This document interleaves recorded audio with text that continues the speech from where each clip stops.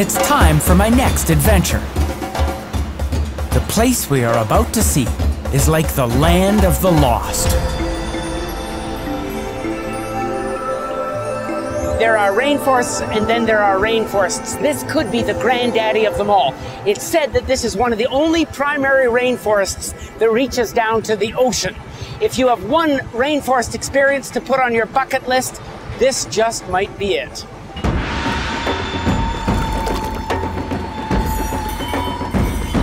The search is on. The air is muggy. Forest thick with bush. Sounds everywhere. And if you look close enough, the jungle stirs.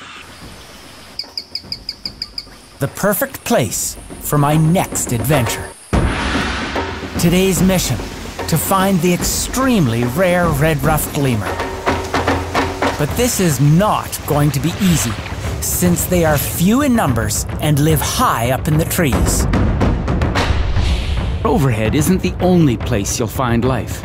In Madagascar, even the ground moves. Look at this, look at this, look at this. This is a tenrec. It's one of the most primitive creatures found on the island of Madagascar.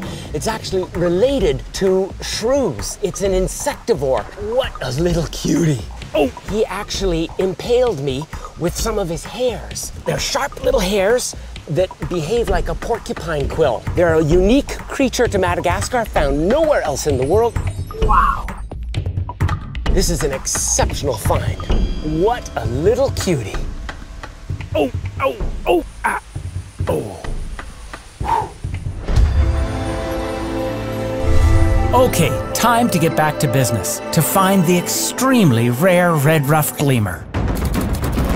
This lemur is a strange and exotic sight that very few have ever seen in the wild. It is critically endangered, occupying a small area of the Masoala rainforest.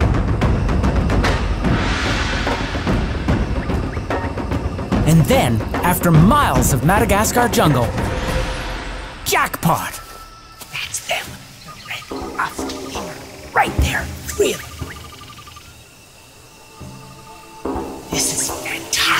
They're right there. Hardly 50 meters away. Officially on the endangered species list, there may be less than 500 of these lemurs still in the wild, making this sighting even more spectacular. You have to come here to see it.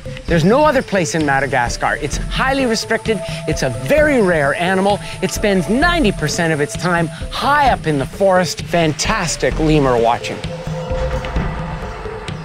This is one of the prettiest of all the lemurs. It's almost like a child's toy. Their ears look like they've been glued on with crazy glue. They look like teddy bear ears. Their eyes are wide open and alert as if they've had way too much coffee in the morning. They have a very limited habitat span. They're only found in primary forest and they're only found way up in the canopy, usually far out of the distance from where you can easily spot them. We've been incredibly lucky today to have them this low. And the reason why they're down this low is because they're feeding on fig. And fig blooms all the way down the trunk of the tree. To see this particular species of lemur, to see it so well, to see it in this forest, it's a life dream come true.